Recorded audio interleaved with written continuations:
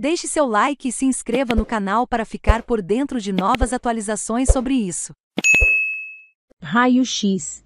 Veja onde River Piauí e Fluminense Piauí marcaram seus gols no Campeonato Piauiense de 2023 finalistas do Campeonato Piauiense 2023 e donos das melhores campanhas ao longo da competição, River Piauí e Fluminense Piauí, conhecem bem o caminho do gol. River Piauí marcou 25 gols, número superior ao último campeonato, incluindo 22 gols. O Fluminense Piauí tem 20 da competição nesta temporada. Esses números das duas equipes somaram as partidas da primeira fase e semifinais. O Galo concentrou mais de seus gols de dentro da área adversária, com 11 gols marcados neste setor. Porém, o tricolor se destacou ao longo da competição, inclusive nos gols marcados fora da área, totalizando seis.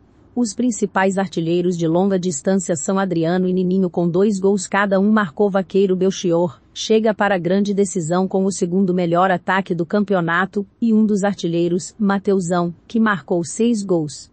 Dos 20 gols marcados pelo Flu Piauí, 13 foram marcados na área de pênalti, a maioria na área central do setor. Tudo começou em jogos de bola parada o Fluminense Piauí marcou dois gols, um de bola rolando e outro de bola parada.